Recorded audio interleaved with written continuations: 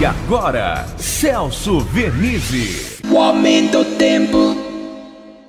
Olá, amiga, olá, amigo. Frente fria nova está chegando no Rio Grande do Sul, vai alterar as condições do tempo gradativamente pelo sul e chega até o litoral paulista porque ela vai sair pelo mar. Ela não é, ao contrário da última, uma frente fria continental. Ela sai para o oceano porque a bolha de ar seco está restabelecida sobre o centro do país e pega São Paulo também no seu interior. Portanto, a frente fria sai para o mar e no domingo começa a mudar o tempo em São Paulo. E esfria, hein? Até o sábado, temperaturas em elevação, sol depois de amanhecer com alguma névoa. Vamos ter sol e elevação das temperaturas até 25 graus no litoral, 26 na capital, 28 a 30 graus no interior, com muito sol, ao contrário do litoral, que ainda tem muitas nuvens de vez em quando. Mas o sol também aparece. Temperaturas em elevação até o sábado, aproveitamento no sábado, no domingo já começa a mudar. Na segunda-feira a temperatura cai para 16 graus de máxima, hein?